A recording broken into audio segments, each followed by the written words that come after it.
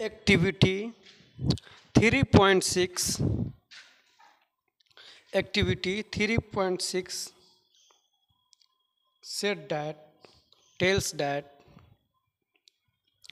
to connect a metal wire with a bulb in series and see what happens to the bulb bulb को क्या करना है wire battery switch से connect करना है।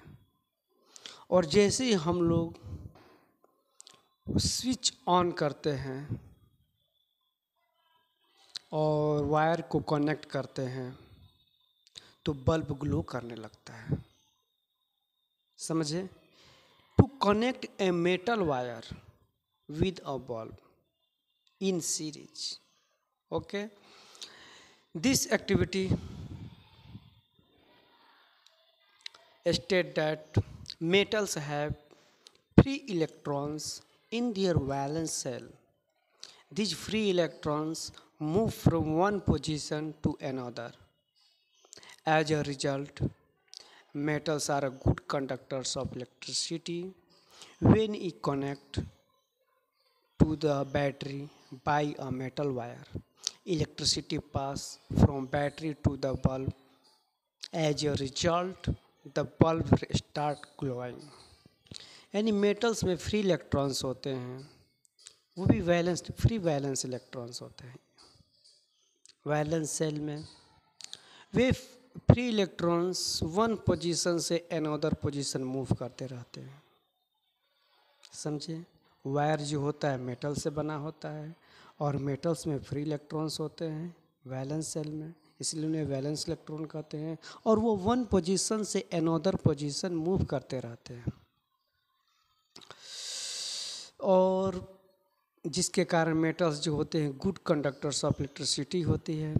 और जब हम लोग मेटल को बैटरी से ऐड करते हैं तो बैटरी से करेंट जो होता है इलेक्ट्रिसिटी वो वायर होते हुए बल्ब में जाता है, जिसके कारण बल्ब जो है ग्लो करने लगता है। तो कंक्लूजन यही मिला कि मेटल्स वायर मेटल्स वायर जो होते हैं, धातु के जो तार होते हैं, वे गुड कंडक्टर्स ऑफ़ इलेक्ट्रिसिटी होता है।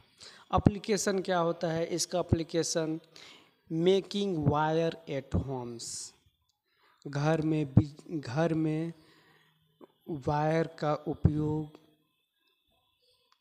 एक बल्ब से दूसरे बल्ब को कनेक्ट करने में, बिजली के पोल से इलेक्ट्रिसिटी को होम में लाने में, यानी इलेक्ट्रिक सर्किट बोर्ड बनाने में और वायर बनाने में इत्यादि में होता है मेटल्स का कुछ इसके फैक्ट्स जान लीजिए।